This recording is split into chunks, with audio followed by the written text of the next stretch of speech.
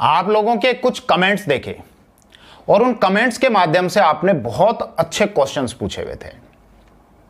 कुछ स्टूडेंट्स के द्वारा पूछा गया कि साबी अरावली सीरीज़ के संबंध में कुछ एक प्रश्न ऐसे हैं, जैसे कि उत्तरी अरावली जो है यह क्वार्टजाइट और फाइलाइट शैलों से बनी हुई है।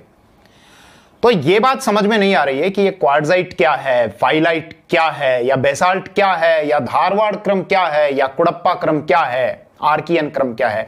तो एक बार सर इस विषय को स्पष्ट कीजिए। तो मैंने एक क्वेश्चन बनाया और उस क्वेश्चन के कुछ विकल्प लिए और उस क्वेश्चन के उन विकल्पों के माध्यम से इस पूरे विषय को बहुत अच्छे से समझा दूँगा। यह हमारा राजस्थान फ़िज़िकल डिवीज़न का पार्ट चल रहा है और इसमें अरावली सीरीज़ के संबंध में मैं आपको अभी तक क्वेश्चन आंसर्स के माध्यम से लगभग 90 प्रतिशत, नाइन्टी परसेंट कोर्स आपको करा चुका हूँ। जो बचा कुचा कोर्स है वो संभवतः दो या तीन वीडियोस के अंदर अंदर हो जाएगा। तो क्वेश्चन की तरफ़ हम चलते हैं, जो क्वेश्चन मैंने बनाया है। यह क्वेश्चन में पूछा गया है कि निम्नलिखित, में से सही कथन ज्ञात करो? यानी हमको ट्रू स्टेटमेंट यहाँ बताना है। पहला है, अरावली श्रृंखला धारवाड़ क्रम की चट्टान है, जिसमें पिचानवे प्रतिशत तक कोयला पाया जाता है।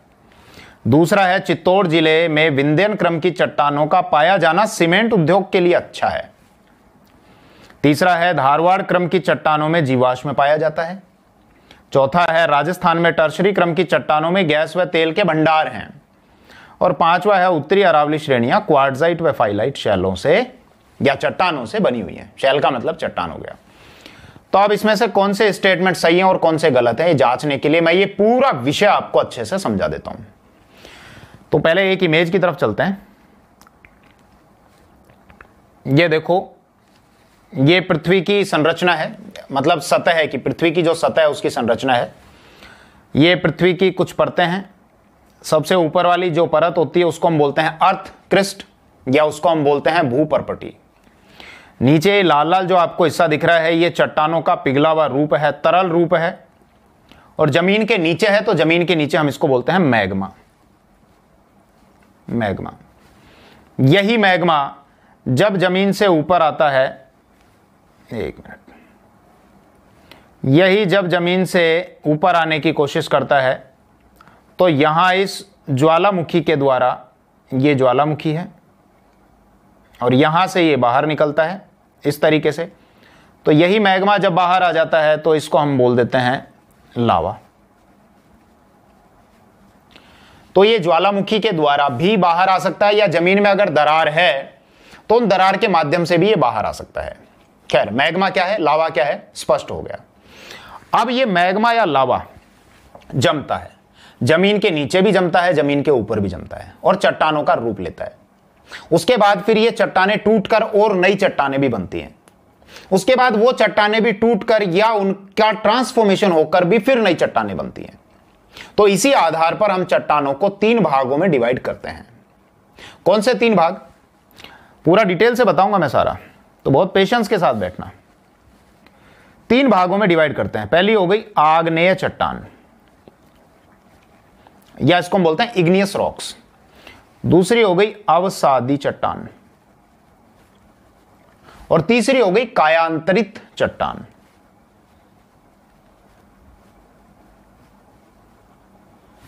आग्नेय, अवसादी, कायांतरित। आग्नेय इग्नियस रॉक अवसादी सेडिमेंट्री रॉक्स और कायांतरित, अर्थात मेटामॉर्फिक रॉक्स अब इसमें सबसे पहले हम ले लेते हैं आग्नेय चट्टान।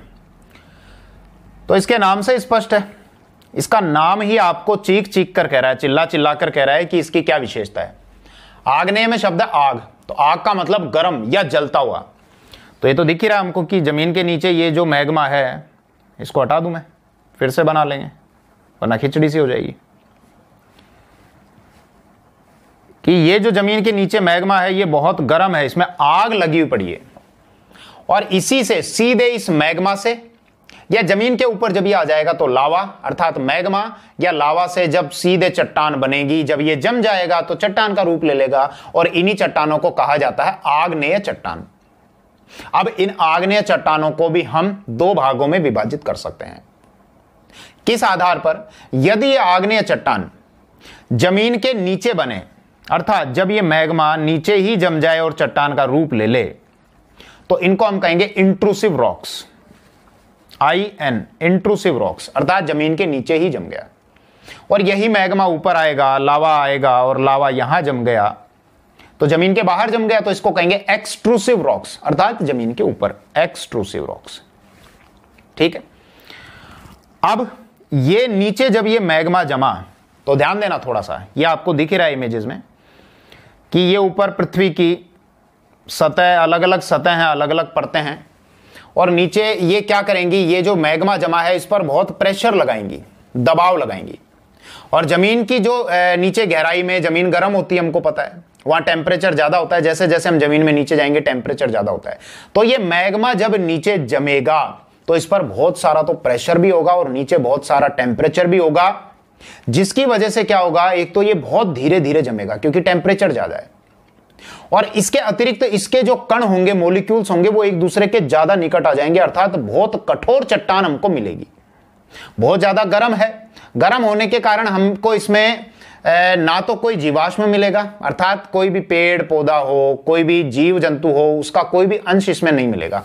ना तो नीचे ये मैग्मा नीचे जमेगा तो ना तो नीचे हमको कोई जीवाश्म मिलेगा और ना ही यहाँ ऊपर हमको कोई जीवाश्म मिलेगा। तो इसका मतलब आग्नेय चट्टानों में कोई जीवाश्म नहीं मिलता। खैर, हम नीचे इंट्रूसिव रॉक्स की बात कर रहे थे। बात समझ में आई कि ये मैग्मा जब नीचे जमेगा तो इस पर बहुत सारा प्रेशर भी होगा, बहुत सारा नीचे टेम्परेचर भी होगा, जिसके कारण ये धीरे धीरे जमेगा, बहुत लंबे समय तक जमेगा, और यहाँ नीचे जो चट्टाने बनेंगी, वो बहुत ज़्यादा कठोर बनेंगी। किसकी अपेक्षा? ऊपर बनने वाले चट्टानों की अपेक्षा। यानी जब ये लावा ऊपर आके जमेगा तो यहाँ बनने वाले चट्टानों की अपेक्षा, नीचे बनने वाली चट्टाने अपेक्षाकृत ज़्यादा मज़बूत होंगी, ज़्यादा कठोर होंगी और ज़्यादा लंबे समय तक धीरे धीरे धीरे धीरे ठंडी होंगी। ठीक है? अब नीचे कौन कौन सी चट्टाने हमको देखने को मिलेंगी? तो ये ट्रिक के माध्यम से मैं आपको बता देता हूँ। ये ध्यान देना। ये एक भैंसा है और भैंसे को गाँव में हम क्या बोलते हैं? पाडा बोलते हैं? पाडा। तो ये पाडा ज़मीन के नीचे गया। और ज़मीन के नीचे बहुत ज़्यादा टेम्परेचर होने के कारण इसका जो रंग है वो ग्रे हो गया। हालाँकि इसका रंग या तो ब्लैक है, लेकिन ये जब नीचे गया था तो गर्मी के कारण इसका रंग जो है वो ग्रे हो गया। आपको ये टेक्निक ध्यान रखनी है। तो इस ट्रिक में इंट्रूसिव रॉक्स अर्थात वो आग्नेय चट्टाने जो ज़मीन के नीचे बनती हैं, वो इस ट्रिक में आ गई। जैसे ग्रे से हो गया ग्रेनाइट ग्रेनाइट ग्रे में गै का जो दूसरा अर्थ है, वो है गैब्रो। गैब्रो। तो गै से दो हो गए, एक तो ग्रेनाइट और एक गैब्रो। पाडा। तो पै का अर्थ हो गया पैगमेटाइट। पैगमेटाइट। ठीक है साहब। और डे का जो अर्थ हो गया, वो हो गया डायोराइट। तो ये वो आग्नेय चट्टाने हैं, जो ज़मीन के नीचे हमको मिलती हैं। और ऊपर मिलने वाले चट्टानों की अपेक्षाकृत अधिक कठोर और मज़बूत होती हैं। ठीक है? अब बात करते हैं कि ऊपर जो चट्टाने मिलेंगी, इसको हटा दूँ। ये हटा दिया। तो मैग्मा नीचे जम गया है तो देख लिया, अब यही मैग्मा जब ऊपर आएगा तो ये लावा हो गया। अब ये लावा जब ऊपर जमेगा तो ध्यान देना, ऊपर का जो टेम्परेचर है, सतह के ऊपर का वो नीचे की अपेक्षाकृत कम है। और ऊपर ज़्यादा प्रेशर भी नहीं है। ऊपर इन चट्टानों पर कोई प्रेशर नहीं पड़ेगा। केवल हवा का जो प्रेशर रहेगा, वो रहेगा। तो ऊपर ये जो चट्टाने बनेंगी, ये एक तो जल्दी ठंडी हो जाएँगी। प्रेशर नहीं है इन पर। इसी के कारण ये नीचे वाले चट्टानों की, यहाँ बनने वाले चट्टानों की अपेक्षाकृत कम मज़बूत होंगी। अब ये ध्यान रखना, ये जो ऊपर चट्टान हमको मिलेंगी तो ऊपर कौन कौन सी चट्टाने हमको मिलती है? वो इस ट्रिक में ये लड़का जो आपको दिख रहा है, इसका नाम है एंड्रयू। इसको हटा देता हूँ। इस लड़के का नाम है एंड्रयू। ये एंड्रयू। और कहानी क्या है कि ये एंड्रयू एक बार सतह के ऊपर खड़ा था, तभी ज्वालामुखी विस्फोट हो गया। और ज्वालामुखी विस्फोट की इतनी तेज आवाज़ थी कि ये बहरा हो गया उसके कारण।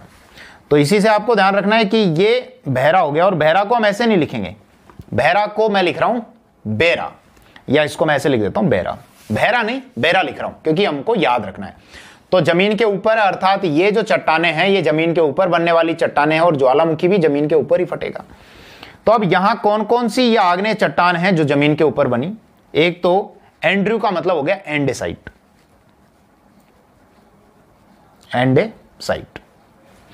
बै का अर्थ हो गया बेसाल्ट। ये हो गया बेसाल्ट। और रे का जो अर्थ हो गया, वो है रायोलाइट ये रायोलाइट तो एंडेसाइट बेसाल्ट और रायोलाइट एक बार इमेजेस भी देख लो आप इनकी. ये देखो. ध्यान देना. एंड्रयू बहरा हो गया था तो एंडेसाइट बेसाल्ट और रायोलाइट ये तो वो आग्नेय चट्टान है जो ज़मीन के ऊपर बन रही है. और ये वाली जो चट्टान है, ये बताया था मैंने आपको ग्रेनाइट इसके अतिरिक्त गैसे गैब्रो, इसके अतिरिक्त पैगमेटाइट और डैसे ये लिखा नहीं तो ये लिख लेना डायोराइट। ये डायोराइट। ठीक है? क्या तक समझ में आया अच्छे से? ओके। अब थोड़ा सा और ध्यान देना इन आग्नेय चट्टानों के बारे में।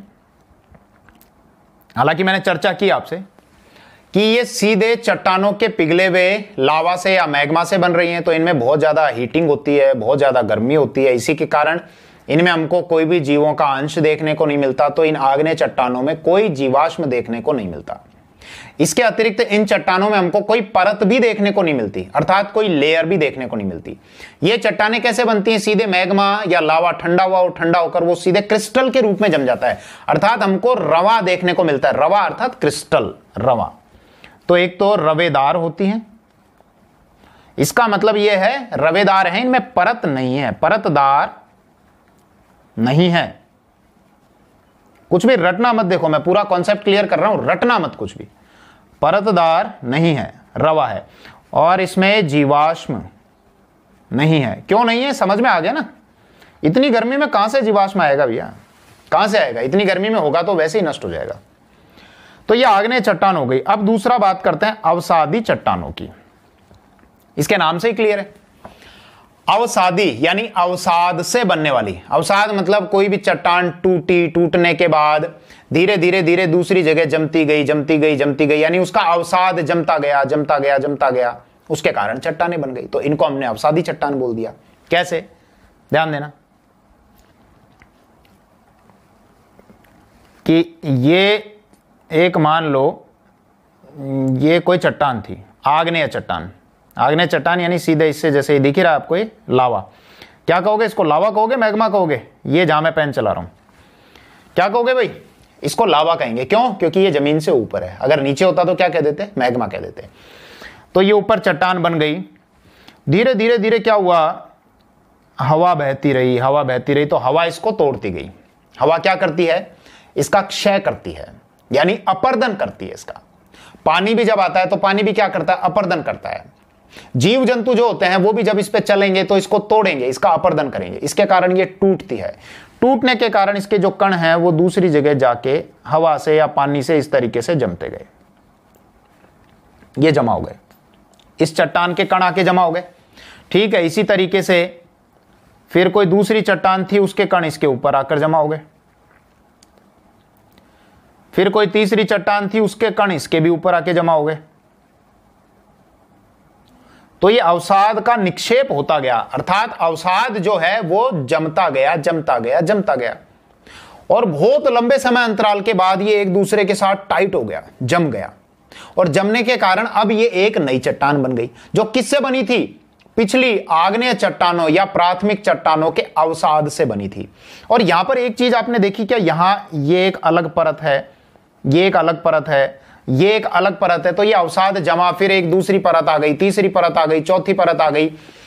तो ये जो अवसादी चट्टाने होती हैं, ये परतदार होती हैं। जबकि पिछली वाली कौन सी थी? रवेदार, क्रिस्टल वाली। जबकि ये कैसी हैं? परतदार। ये परतदार हो गई। और यहाँ पर ये परतें जम रही हैं तो इनके बीच में जीवों के अंश भी हमको देखने को मिल जाते हैं। इसीलिए इन चट्टानों में जीवाश्म भी पाए जाते हैं। जीवाश्म।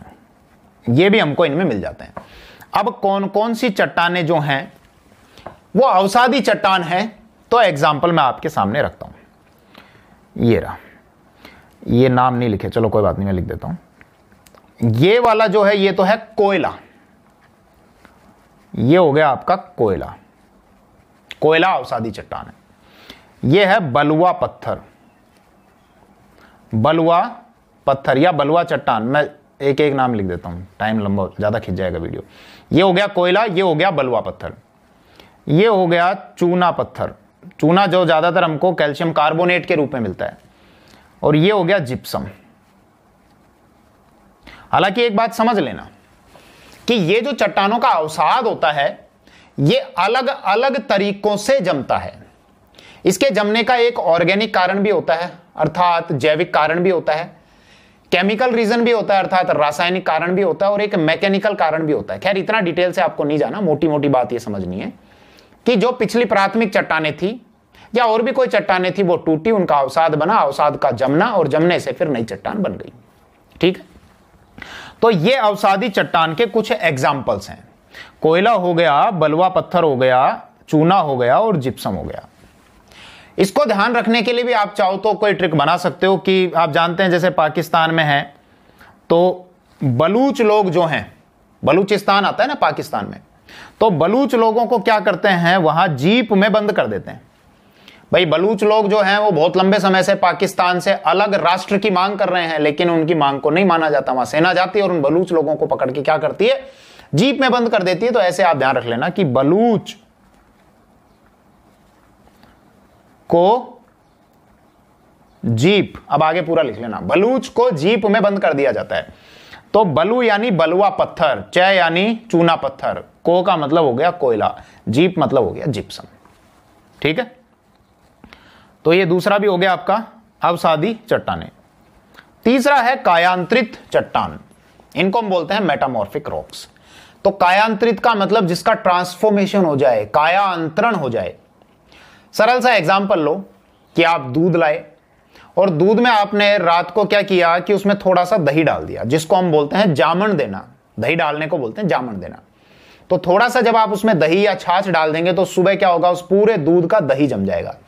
तो था तो वो दूध ही, लेकिन अब उस दूध का जो ट्रांसफॉर्मेशन है वो किसमें हो चुका? दही में हो चुका। फिर दही से ही आप क्या बना लेंगे?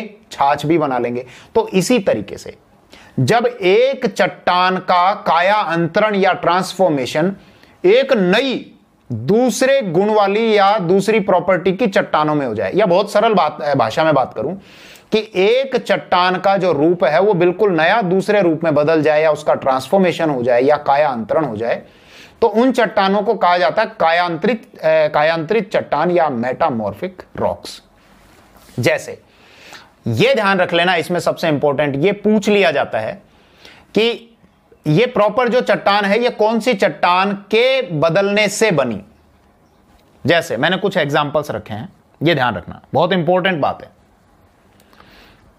ये जो चट्टाने आपको दिख रही हैं, ये लाइन खींचता हूँ इसके नीचे।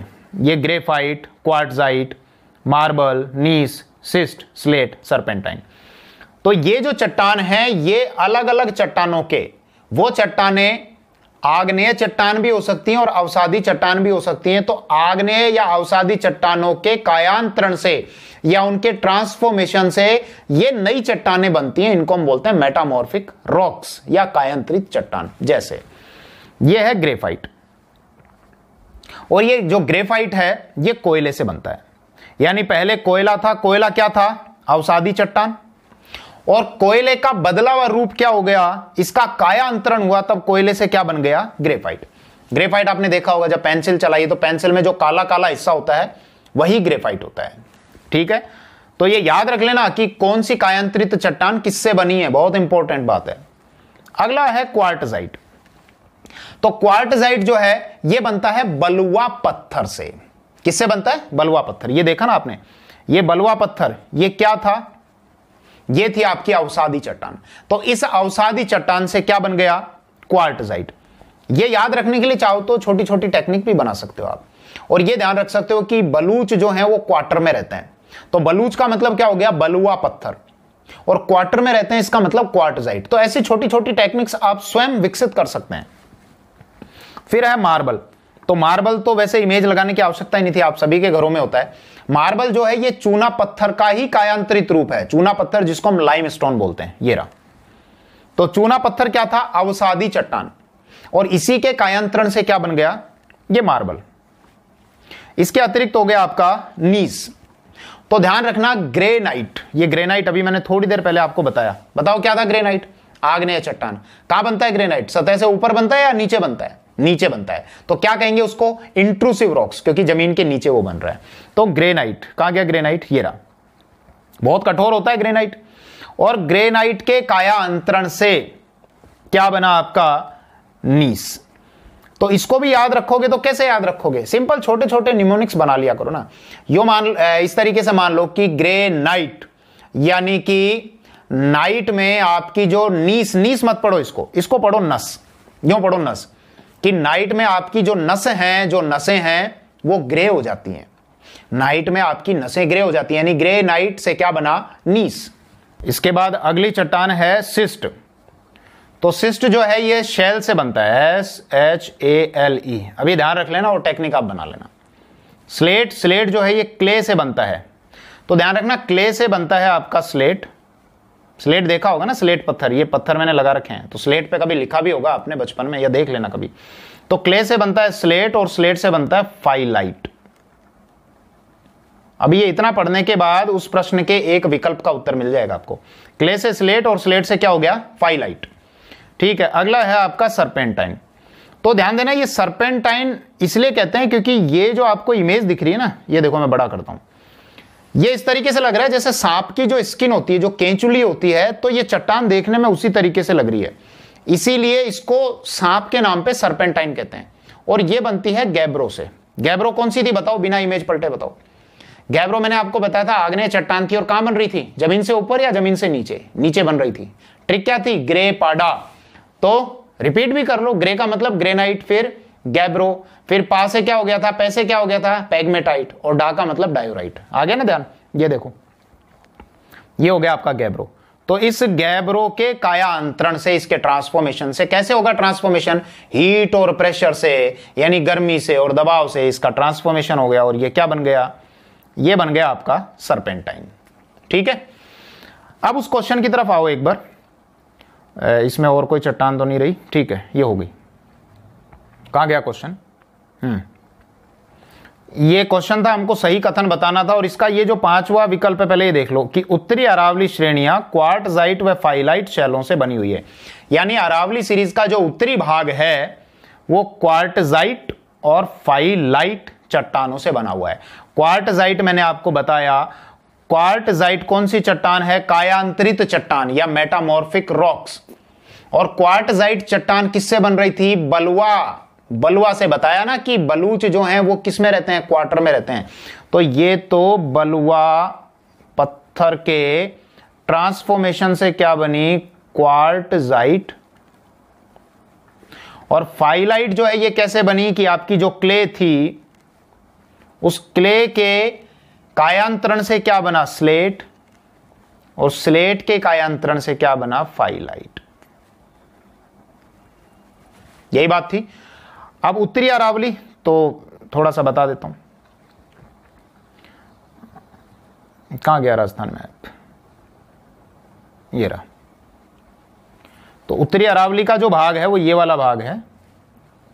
अब तो आप ही बना दोगे मुझसे पहले, इतना पढ़ने के बाद। ये उत्तरी अरावली यहाँ से लेके ये अलवर, फिर दौसा, फिर जयपुर और ये यहाँ तक, ये उत्तरी अरावली तो ये बात सही है कि उत्तरी अरावली की ये जो चट्टाने हैं, ये क्वार्टजाइट और फाइलाइट चट्टानों से बनी हुई हैं। इसका मतलब उत्तरी अरावली जो है, ये कायांतरित चट्टानों से बनी हुई है। तो या तो आपको क्वार्टजाइट या फाइलाइट दे देगा, या आपको दे देगा कि ये कायांतरित या मेटामॉर्फिक रॉक्स से बनी हुई है। तो बात सही है। तो हमारा ये वाला स्टेटमेंट तो करेक्ट ये वाला सही है। ठीक है। अब ये और समझने के लिए कि साहब ये धारवाड़ क्रम की चट्टानें क्या हैं, जिसमें 95 परसेंट तक कोयला पाया जाता है, विंध्यन क्रम की चट्टानें, धारवाड़, टर्सरी क्रम की तो थोड़ा सा इसको समझो भैया। यहीं से मैं आपको बताता हूँ कि स्टार्टिंग में क्या था पृथ्वी आरंभ में कैसी थी? इस बात को लेकर अलग अलग थ्योरीज दी गई हैं। एक थ्योरी यह भी है कि पृथ्वी पहले बहुत गर्म थी। भाई, पहले किसी ने देखा थोड़ी है तो अलग अलग सिद्धांत ही दिए गए हैं। फिर उन सिद्धांतों को प्रूफ किया जाता है। तो यह माना गया कि पृथ्वी जो है वो पहले बहुत गर्म थी, फिर धीरे धीरे धीरे धीरे ठंडी होती गई। तो गर्म थी तो इसका मतलब चारों तरफ़ क्या था? लावा या मैग्मा ही था, चारों तरफ़। अब वो धीरे धीरे धीरे धीरे जब ठंडा होता गया तो शुरू में सबसे पहले जो चट्टान बनी थी, वो सबसे पहले बनने वाली, अर्थात जो प्राथमिक चट्टाने थी, जिन चट्टानों से सारी चट्टानों का जन्म हुआ, वो पहली चट्टाने थी आर्कियन युग की चट्टाने, या जिनको आर्कियन क्रम की चट्टान कहा जाता है। अब ये जो चट्टानों का क्रम है, कि पहले कौन सी चट्टान बनी? फिर वो टूटी। टूटने के बाद उनके अवसाद से दूसरी चट्टानें बनी, दूसरे क्रम की। फिर वो टूटी, उनके टूटने से तीसरी, फिर टूटी, फिर चौथी, इसी तरीके से अलग अलग क्रम की चट्टानें बनती गई। कुछ टूटने से बनी, कुछ ज़मीन में दरारें होने से अंदर से मैग्मा बाहर आया, लावा ऊपर जम गया, उसने क्या किया? आसपास की वनस्पति को ढक लिया, जिसके कारण वो कोयला बन गई। तो ये अलग अलग युग में कौन कौन सी चट्टानें बनी और भारत में इनमें से कौन कौन सी पाई जाती हैं? तो इस आधार पर हम इनको कुछ भागों में विभाजित करते हैं। और ये कौन कौन से भाग हैं? ध्यान देना। यहाँ लिखता हूँ इसको मैं। यहाँ लिखता हूँ। सबसे पहले जो बनी थी वो थी आर्कियन युग की चट्टाने। आर्कियन। दूसरी जो थी वो धारवाड़। अभी पूरा डिटेल से बताऊँगा। तीसरी जो थी वो कुडप्पा। कुडप्पा। कुछ जगह कडप्पा भी दिया हुआ है। वैसे भी कटप्पा याद रख सकते हैं। कडप्पा। चौथे क्रम की जो चट्टाने थी, इनके बाद वो थी विंध्यन विंध्यन क्रम की चट्टान। पांचवी जो थी, वो थी गोंडवाना। छठी जो थी, वो थी दक्खन या डेकन सातवीं जो है, वो है टर्शरी।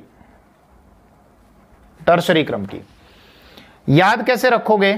क्रम याद रख लेना। एक मेंढक है। अब मेंढक कैसे होगा? देखो, मेरे को तो आता नहीं बनाना। बना देता हूँ, फिर भी जैसे बने। ये कोई एक मेंढक की बजाय तो भेड़ बन गई। अब मान लेना भैया मेंढक है। मेरी ड्राइंग ऐसी है। तो एक मेंढक है। और ये मेंढक क्या है? कवि है। मतलब जितने भी इसके साथी हैं, उन साथियों में ये मेंढक जो है, ये कवि है। लेकिन ये कविताओं के नाम पे सिर्फ़ टर टर करता रहता है। होती है ना, जब बारिश होती है तो मेंढक टर टर करने लग जाते हैं। तो ये मेंढक सिर्फ़ कविता के नाम पे टर टर करता है। और कब करता है? जब इसको गोद में बैठाओगे। तो कवि तो क्या होता है? कवि तो वो होता है जो किसी भी प्रकार की रचनाएँ कर ले। लेकिन ये तो आधी अधूरी रचना करता है, इसलिए हम इसको बोलते हैं आधा कवि। और ये कब बोलता है? जब ये गोद में होता है। तो यही आपको ध्यान रखना है कि ये आधा कवि है। आधा कवि है। ठीक है? और गोद में जब ये बैठता है, तभी क्या करता है ये? टर टर करता है। ये ध्यान रख लेना। तो आ से पहला हो गया आर्कियन दूसरे हो गया, धा से हो गया धारवाड़ तीसरा कैसे हो गया आपका कडप्पा या कुडप्पा? चौथा हो गया विंध्यन। पांचवा हो गया आपका गोडवाना या गोंडवाना। द छठा जो आपका हो गया वो हो गया दक्खन या डेक्कन। और टर टर का मतलब हो गया टर्शरी क्रम। ठीक है? तो आर्कियन क्रम की चट्टानों की अगर हम बात करें तो देखो एक इमेज मैंने लगाई होगी मैं पहले दिखाता हूँ आपको। हम्म, ये देखिए। ये तो मैंने आपको बताया ही अभी कि पृथ्वी आरंभ में कैसी थी, कैसे धीरे धीरे ठंडी हुई, कैसे चट्टाने बनी शुरुआती दौर में। तो उसको लेकर अलग अलग थ्योरीज हैं अलग अलग सिद्धांत हैं। तो शुरू में जो चट्टाने बनी थी, सबसे पहले, उन्हीं को हमने कहा था आर्कियन क्रम की चट्टाने। आर्कियन युग की बनने वाली चट्टाने थी, इसलिए आर्कियन युग की चट्टाने आर्कियन आर्कियन क्रम की चट्टाने। शुरू में लावा ही था, किसी भी जीव की उत्पत्ति नहीं हुई थी, इसीलिए इन चट्टानों में ना तो हमको कोई जीवाश्म मिलता है, कोई भी जीवाश्म नहीं मिलता।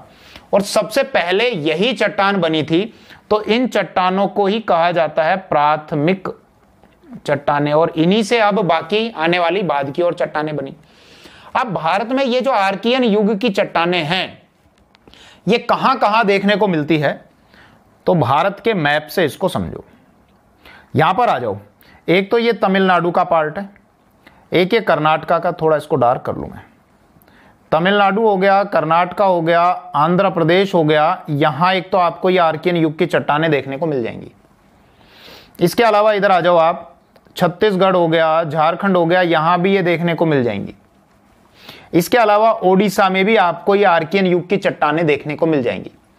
इसके अतिरिक्त मध्य प्रदेश में और राजस्थान का ये जो दक्षिण पूर्वी भाग है, यहाँ पर भी आपको आर्कियन युग की चट्टानों के नाम मात्र के अवशेष ही मिलेंगे, लेकिन फिर भी ये देखने को मिल जाएँगी।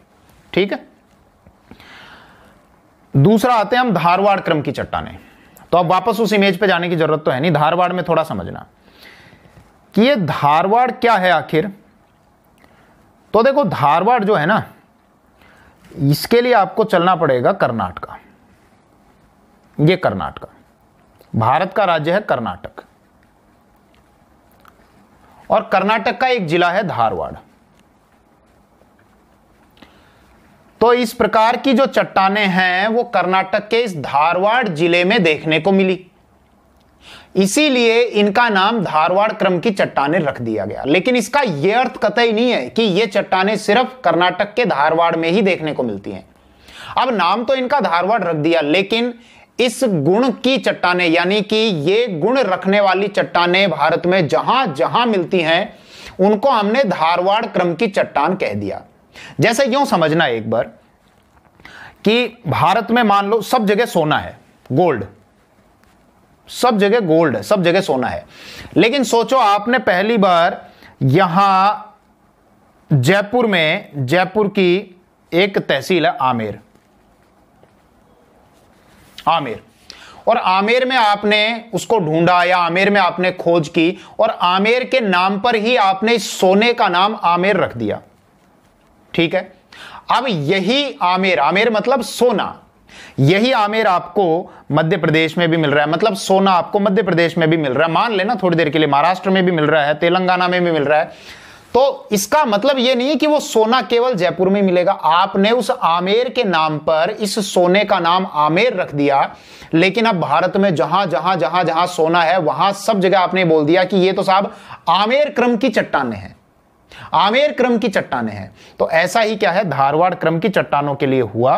क्या? कि कर्नाटक का एक जिला है धारवाड़ तो यहाँ पर वो चट्टाने थी। इसीलिए इनका नाम धारवाड़ क्रम की चट्टाने रख दिया। तो भारत में जहाँ जहाँ इस प्रॉपर्टी वाली या ये गुण रखने वाली चट्टाने मिलती हैं, उनको हमने धारवाड़ क्रम की चट्टाने बोल दिया। आ गई बात समझ में। अब, अभी मैंने आपको बताया था कि इससे पहले वाली जो चट्टान थी, वो थी आर्कियन युग की चट्टाने, जो यहाँ पर थी तमिलनाडु में भी, इसके अलावा कर्नाटका में भी, आंध्र प्रदेश में भी, इसके अलावा आपके छत्तीसगढ़, झारखंड, ओडिशा, राजस्थान के दक्षिण पूर्व में। तो समझना, सबसे पहली थी आर्कियन। आर्कियन के बाद फिर कौन सी बनी? धारवाड़ क्रम की। तो धारवाड़ क्रम की चट्टानों का जो निर्माण हुआ था, वो आर्कियन युग की चट्टानों के क्षय से, यानी उनके अपर्दन से ही हुआ था। इसलिए जहाँ जहाँ आर्कियन युग की चट्टाने थी, उनके ही बगल में, उनके ही सहारे सहारे उनके ही पास पास में आपको धारवाड़ क्रम की चट्टाने देखने को मिलती हैं। ठीक है, यहाँ तक आई बात समझ में? अब यह भी ध्यान देना कि ना तो आर्कियन युग की चट्टानों में कोई जीवाश्म था, और ना ही धारवाड़ युग या धारवाड़ क्रम की चट्टानों में कोई जीवाश्म था। धारवाड़ दरअसल युग नहीं है, मैं फिर आपको समझा रहा हूँ। धारवाड़ क्रम की चट्टाने हैं और धारवाड़ क्यों नाम दिया, ये मैं स्पष्ट कर चुका ठीक है? ओके तो ये धारवाड़ क्रम की चट्टाने हो गई। अब थोड़ा सा समझना, इसके संबंध में हमको थोड़ी सी और डिटेल्ड जानकारी लेनी पड़ेगी। राजस्थान में जब आते हैं तो ये हमारी अरावली सीरीज़ है। और अरावली सीरीज़ जो है, ये धारवाड़ क्रम की चट्टान है।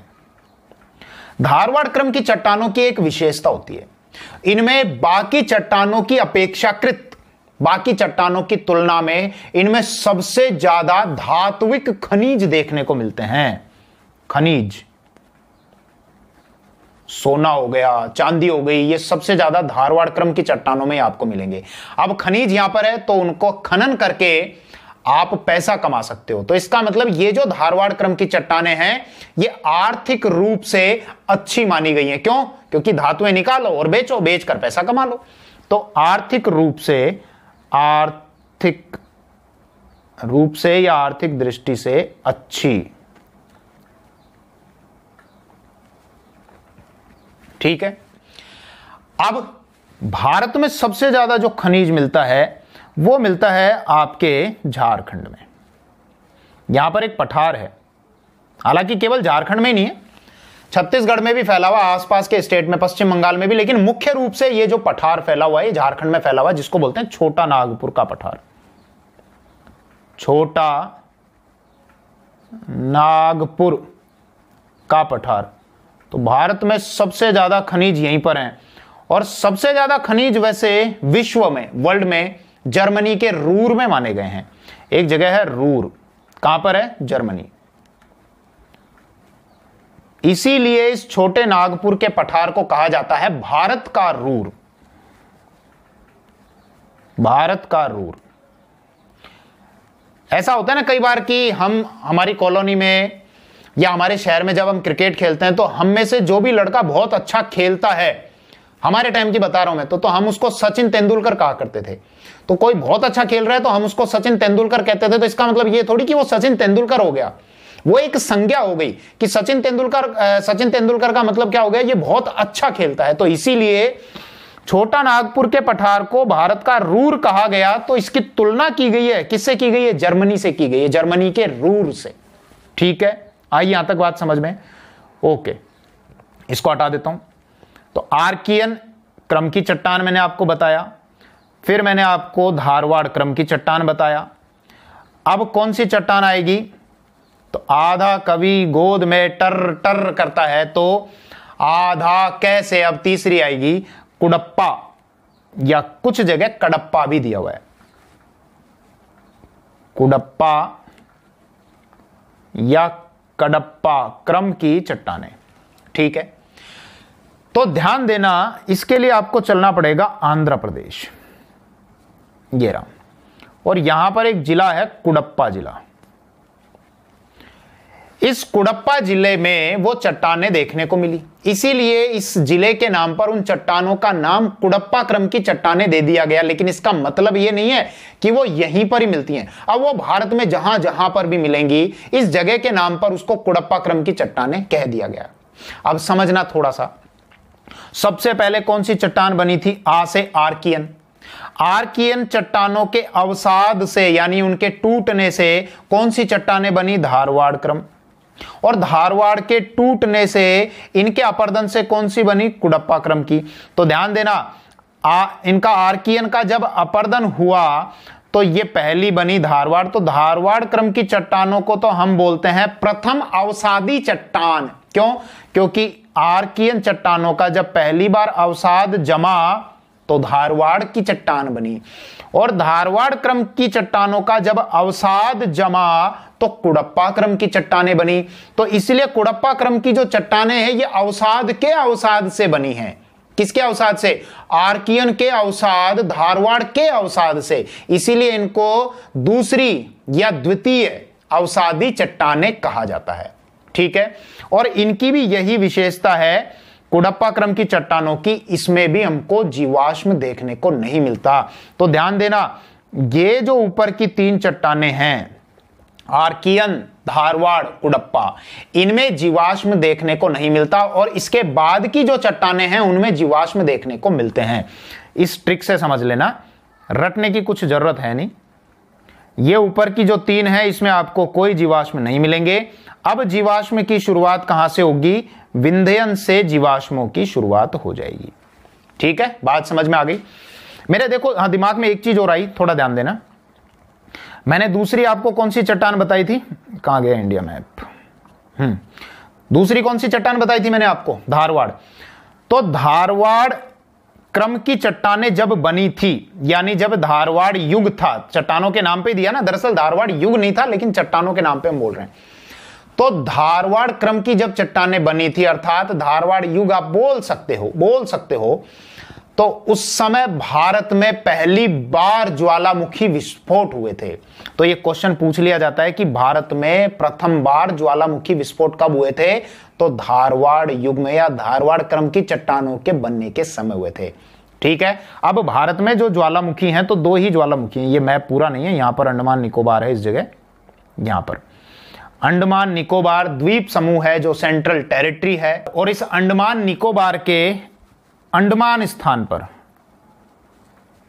अंडमान निकोबार में, अंडमान में दो ज्वालामुखी हैं भारत के। यहीं पर ही है भारत के ज्वालामुखी, और कहीं नहीं है। एक तो है बैरन, और दूसरा है नारकोंदम।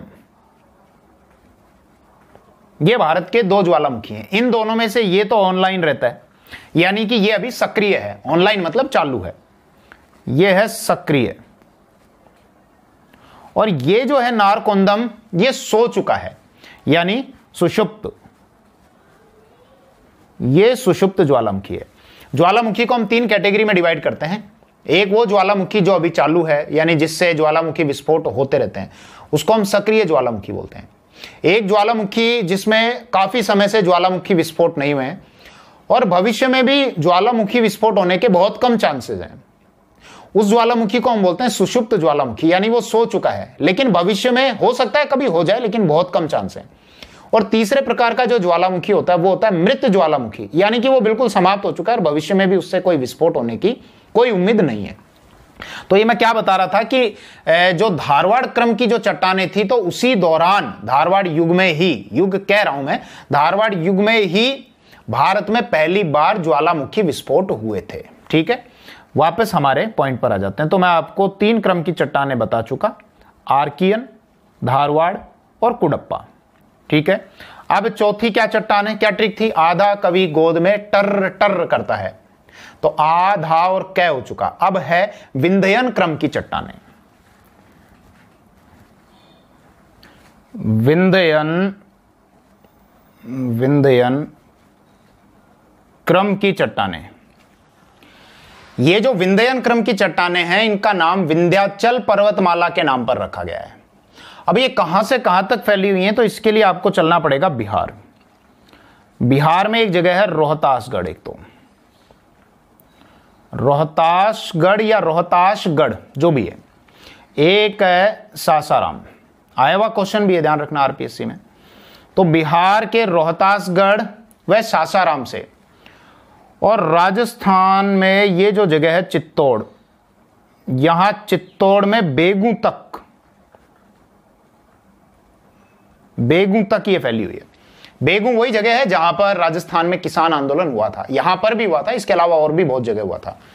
और रोहतासगढ़ वो जगह है जहाँ पर आमेर के शासक और अकबर के सेनापति मानसिंह के द्वारा रोहतासगढ़ में बिहार अभियान पर रहते हुए बहुत सारे महलों का निर्माण करवाया गया था।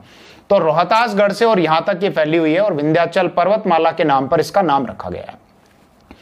अब इसकी क्या विशेषता है? एक तो यहाँ पर आपको चूना पत्थर बहुत मिलेगा। इस क्रम की चट्टानों में। चूना पत्थर। ठीक है?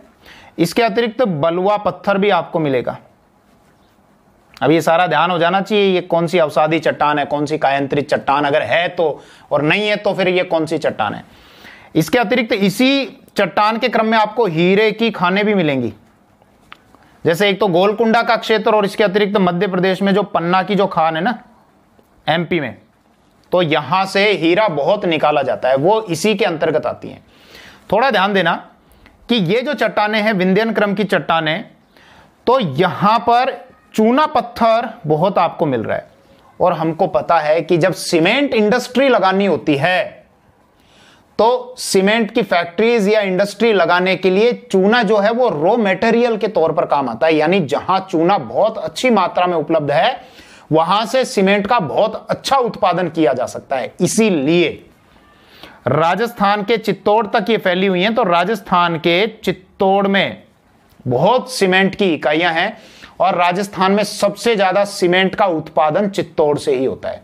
इसके अतिरिक्त अगर आप उत्तर प्रदेश में जाए तो मिर्जापुर वगैरह का जो क्षेत्र आता है, मिर्जापुर,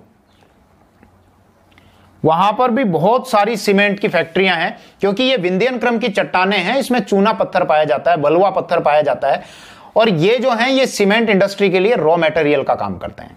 ठीक है? तो इसके बाद अब हम अगले क्रम की चट्टान देख लेते हैं। इसको तो मैं हटा दूँ। तो विंध्यन क्रम की चट्टान तो हो गई। अगली कौन सी थी? आधा कवि गोद में टर टर। तो अगली कौन सी आएगी? गोंडवाना क्रम की चट्टाने। गोंडवाना या गोंडवाना क्रम की चट्टाने। तो भैया, एक तो ध्यान रखना कि इन चट्टानों का जो निर्माण हुआ था, वो कार्बोनीफेरस से और जुरेसिक काल के बीच में हुआ था। कब हुआ था? कार्बोनीफेरस से, पूरा लिख लेना, आप जब नोट्स बनाओ तो। और जुरेसिक जुरेसिक काल के बीच में हुआ था। और यहाँ गोडवाना क्रम की जो चट्टाने हैं, भारत में इन चट्टानों में ही सबसे ज़्यादा कोयला पाया जाता है। लगभग 94 टू 95 परसेंट जो कोयला उत्पादन होता है भारत में, वो इन गोडवाना क्रम की चट्टानों से ही होता है। 94 से 95 परसेंट तक जो कोयला उत्पादन होता है, वो गोडवाना क्रम की चट्टानों से होता है। और ये जो चट्टाने हैं, ये ज़्यादातर हमको नदी घाटी के क्षेत्र में देखने को मिलती हैं। जैसे दामोदर नदी घाटी हो गई, इसके अतिरिक्त आपके गोदावरी नदी घाटी हो गई और इसके अतिरिक्त महानदी घाटी हो गई तो ज़्यादातर नदी घाटी क्षेत्र में ये चट्टाने हमको देखने को मिलती हैं। ठीक है, ये गोडवाना क्रम की हो गई। ठीक है, इसके बाद अगली हम देखते हैं और गोडवाना के बाद आएँगी आपकी दक्खन क्रम की चट्टाने।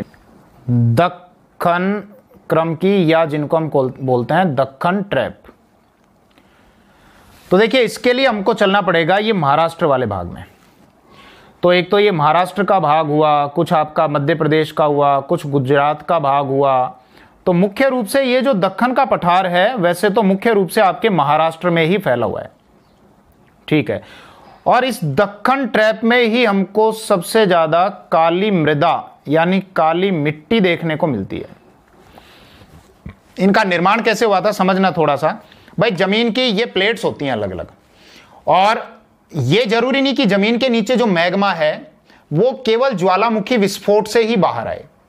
जब ये प्लेट्स के बीच में दरार पड़ती हैं तो इन दरारों में से भी वो मैग्मा बाहर आ जाता है। यानी मैग्मा जब बाहर आता है, जिसको हम बाहर आने के बाद लावा कहते हैं तो ये एक प्लेट हो गई। और ये एक प्लेट हो गई, इनमें दरार हुई, और इस दरार में से जब ये बाहर आया मैग्मा, और ये लावा बनकर जब ये बाहर फैला तो ये धीरे धीरे धीरे जमने लग गया। और ये जो चट्टान बनी, ये बनी बेसाल्ट। ठीक है? बाद में इस बेसाल्ट का अपर्दन होता गया और धीरे धीरे धीरे ये चेंज हो गई काली मृदा में, यानी काली मिट्टी में। तो ये जो डक्कन ट्रैप है या दक्खन का जो ट्रैप है, ये यहाँ पर, ये बेसाल्ट चट्टाने हैं और यहाँ पर काली मृदा बहुत पाई जाती है और काली मृदा जो कि कपास के लिए बहुत अच्छी होती है। कपास जिसको हम सफ़ेद सोना बोलते हैं। इसके अतिरिक्त आपके जो सोयाबीन होती है, उसके लिए भी बहुत अच्छी होती है। तो इसके संबंध में यह बात आप ज़रूर ध्यान रखना कि ये जो दरार में से ये जो लावा बाहर आया, इसको हम बोलते हैं दरारी उद्भेदन, यानी दरार में से लावा का निकलना। ठीक है? तो ये हमारी चट्टाने हो गई, ये हमने देखी, आधा कवि गोद में टर टर करता है।